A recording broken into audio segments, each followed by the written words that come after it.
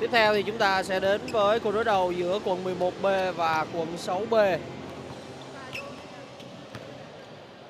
Trận đấu thứ bảy ở trong lượt trận dành cho 16 đội bóng đã giành quyền vào vòng đấu loại trực tiếp của nội dung nam.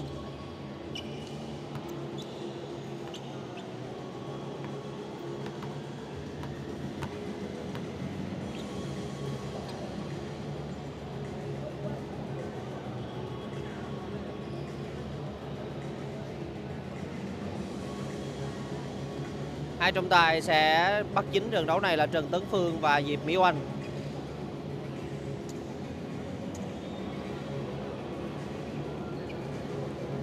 Và chúng ta sẽ đến với đội hình của quận 11B. Những cái tên rất quen thuộc. Số 0 Nguyễn Hà Văn, số 11 Đào Quốc Huy, số 14 Lê Ngọc Tú và số 24 là Nguyễn Phú Cường. Về phía quận 6B thì đó sẽ là bốn cái tên Lý Tông Hiệu, Lê Minh Quận, Trần Bá Nhật Nam và Lê Tấn Đạt.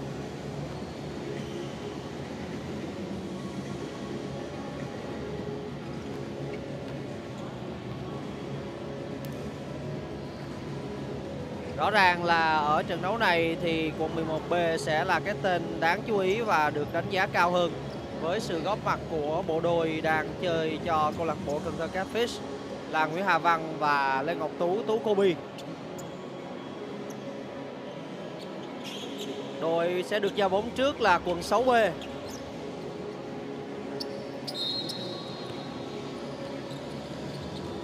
Lý Tông Hiệu. Đây là Nhật Nam. Đủ xử lý đầu tiên và đó là pha đánh rổ không thành công của số 10 bên phía quần 6B. Chúng ta sẽ đến với câu trả lời của quần 11 và Đào Quốc Huy là người đã bị phạm lỗi.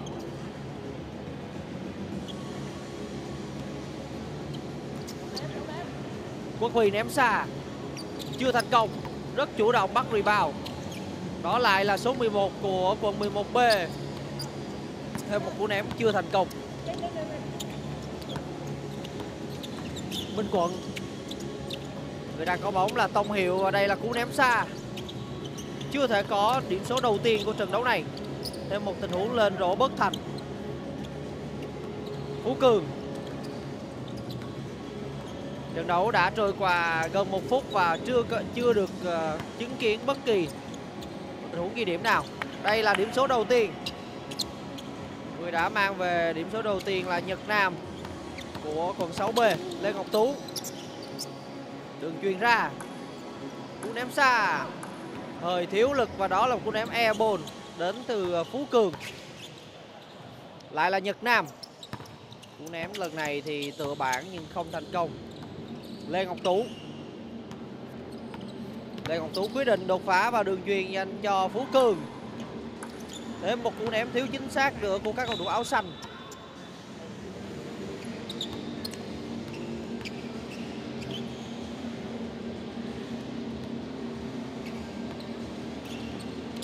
Tông Hiệu. Quyết định ném khó. Và vẫn chưa có thêm điểm dành cho đội bóng áo hồng. Lúc này thì Hà Văn đã vào sân. Phú Cường Rủ lên rổ không thành công. Minh Quận. Minh Quận cũng không thể ghi điểm dành cho quận 6 Phú Cường Quyết định ném ngay Và lại là một cú ném airball Cảm giác ném đang không tốt thực sự đến từ quận 11B đội bóng đã chưa thể ghi được bất kỳ điểm số nào sau 2 phút thi đấu.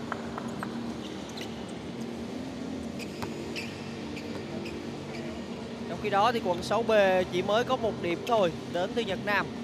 Quả ném xa của Tông Hiệu, rất chính xác. 3-0 dành cho quận 6B Lê Ngọc Tú, chưa thành công nhưng rất chủ động bắt rebound và sau đó là điểm số đầu tiên dành cho quận 11B Vẫn phải là Tú Kobe Tiếp tục là Lê Ngọc Tú, đột phá ngay, Lên rổ ngược và đó là điểm số thứ hai dành cho quận 11B Bounce back, Phối hợp rất hay. Câu trả lời đến từ quận 6B và người vừa ghi điểm là Tấn Đạt.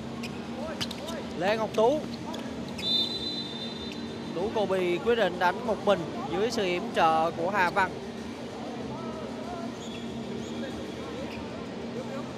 Và Tú Kobe đã bị phạm lỗi. Sẽ có một quả ném phạt dành cho Lê Ngọc Tú.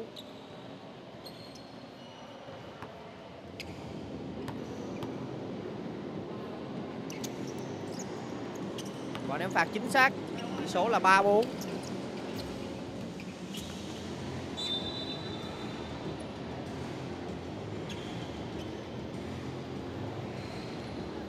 Cầu thủ quần 11B vẫn đang bị dẫn điểm. Minh Quận. Tiếp tục là số 4 của quận 6B Lần này thì tiếng còi đã cất lên với tình huống phạm lỗi của Quốc Huy.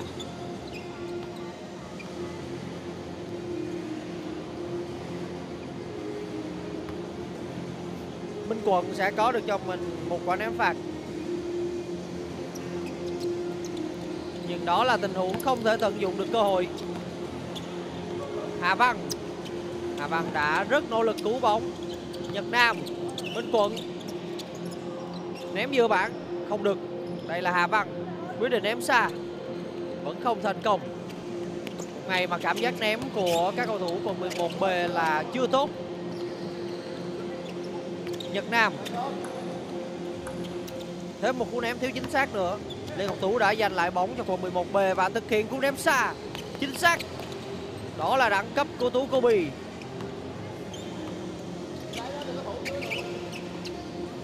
Nếu không nhầm thì toàn bộ 5 điểm của phần 11B lúc này Đang được ghi bởi số 14 của họ, Lê Ngọc Tú. Vẫn đang là Lê Ngọc Tú, Hà Văn. Cú ném giáp lực thời gian như Hà Văn vẫn ghi hai điểm dành cho quận 11B. Lúc này thì đội bóng áo xanh đã tạo ra được cách biệt 3 điểm. Minh Quận, Nhật Nam hơi khó khăn. Có lẽ là quận 11B sau khoảng thời gian bị dẫn thì cũng đã bắt đầu bật chế độ nghiêm túc rồi.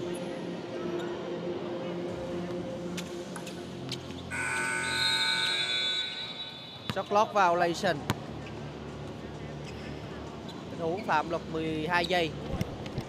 Và bóng sẽ trở lại với quần 11B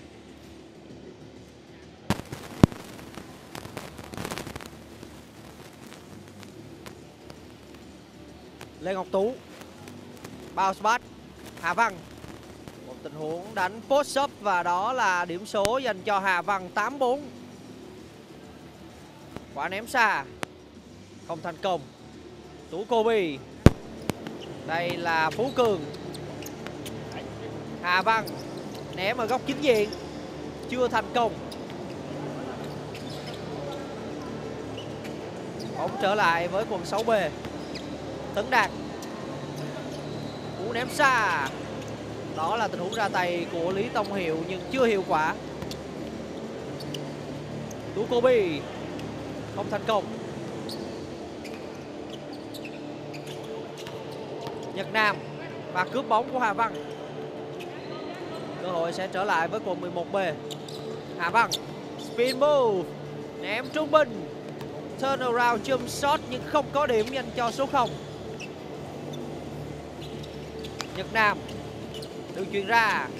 Đây là cú ném của Tấn Đạt. Bóng chạm cạnh rổ và không đi vào. Lê Ngọc Tú. Cô bị quyết định đột phá, đường truyền ra. Hà Văn. Không thành công. Tỷ số vẫn đang là 8-4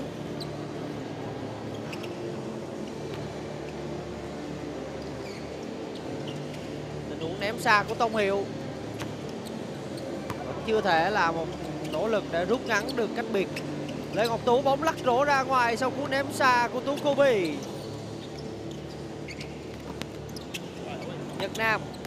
Đột phá baseline, không ai kèm. Và đó là điểm số rất đơn giản dành cho quận 6B Phú Cường. Phú Cường đã bị phạm lỗi. Và sẽ có một quả ném phạt dành cho cầu thủ bên phía quận 11B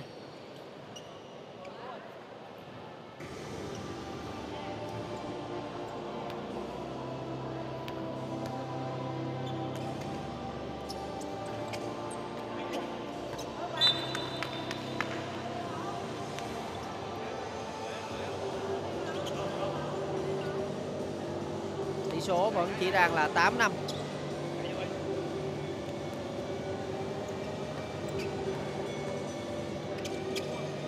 Lê Ngọc Tú. Quyết định ném của Quốc Huy. Không thể có điểm dành cho Quốc Huy. Thêm một tình huống ném thiếu chính xác nữa. Lê Ngọc Tú, spin move. Và xử lý quá mềm mại đến từ Tú Cô Bì. Điểm số thứ 9 cho quận 11B Nhật Nam.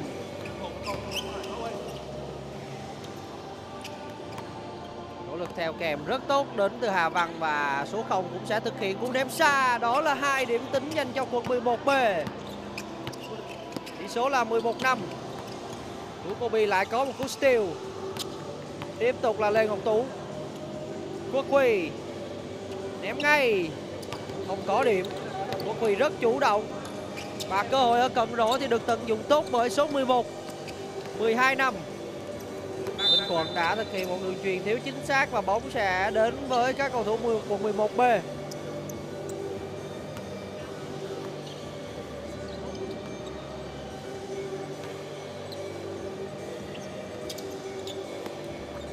Quốc Huy Cú ra tay rất thiếu chính xác của số 11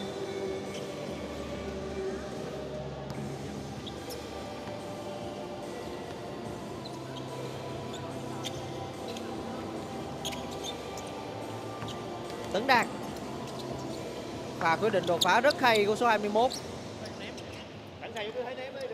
Quốc Huy. Phú Cường có open shot, nhưng cú ném không thành công. Lại là các cầu thủ quận 6B và đó là một cú ném hài chưa thể mang về điểm số của Minh Quận. Phú Cường đột vào. Rất nỗ lực đánh rổ nhưng không có điểm. Tông Hiệu. Cú ném xa không thành công. Phú Cường đây là Phú Huy. Phú Huy tiếp tục thử sức và lần này thì có hai điểm dành cho số 11 14-6 Tình huống đột phá rất chủ động Và đó là điểm số tiếp theo đến từ ờ, Minh Quận. Sau đó thì là một cú ném hơi ngắn đến từ Quốc Huy.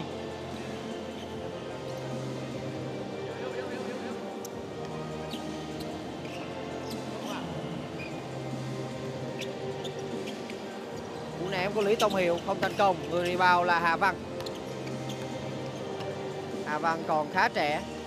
Đây là cầu thủ sinh năm 2000 Quyết định đánh ngay của Hà Văn. Chưa thể thành công. Hà Văn vượt trội hơn ở thể hình và đã tự tin. Tình huống đánh vào. Như vậy là quần 6B sẽ gọi hữu ý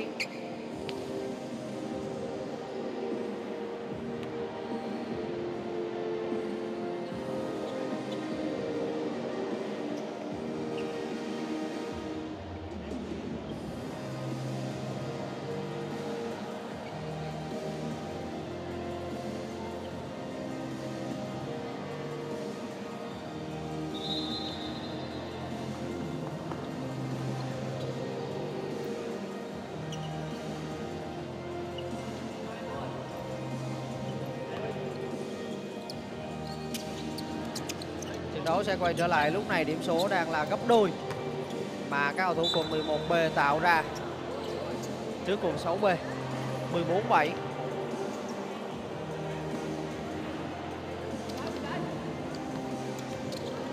Minh Quận. Lý Tông Hiệu, cả tự tin để tiến vào bên trong và cú ném trung bình thành công. Nhưng đây là khoảng trống dành cho Phú Cường. Chưa thể có cú ném tốt đến từ số 24 lại là Tông Hiệu. Lần này là một cú ném airball tuy nhiên đồng đội vẫn giành được bóng. Tấn Đạt.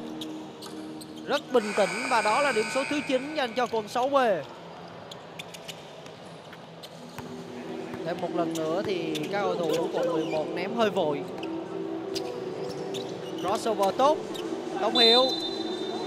Suýt chút nữa là có end one dành cho số 3 thi đấu khá ấn tượng đến từ Lý Tông Hiệu và sẽ có một cú ném phạt dành cho cầu thủ áo số 3 bên phía quần 6B.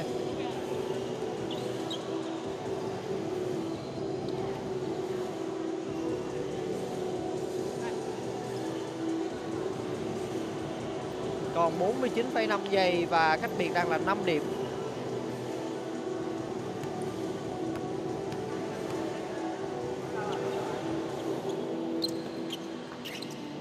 phạt không thành công.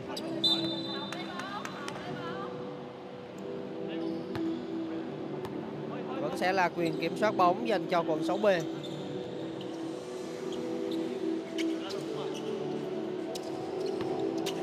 Lý Tông Hiệu, không ai kèm cả. Tỷ số lúc này là 14-10 Quốc Huy, spin move nhưng tình huống, đánh rổ không thể mang về điểm số. Tài xác định là bóng đã đi hết sân và quyền kiểm soát sẽ quay trở lại với cùng 11B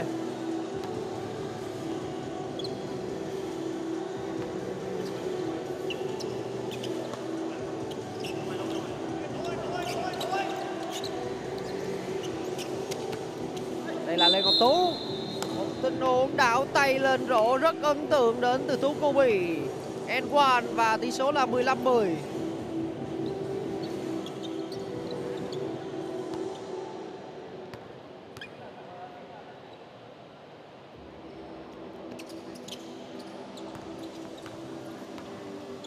Tú Cô Bì cũng tận dụng rất tốt cơ hội ở vành ném phạt.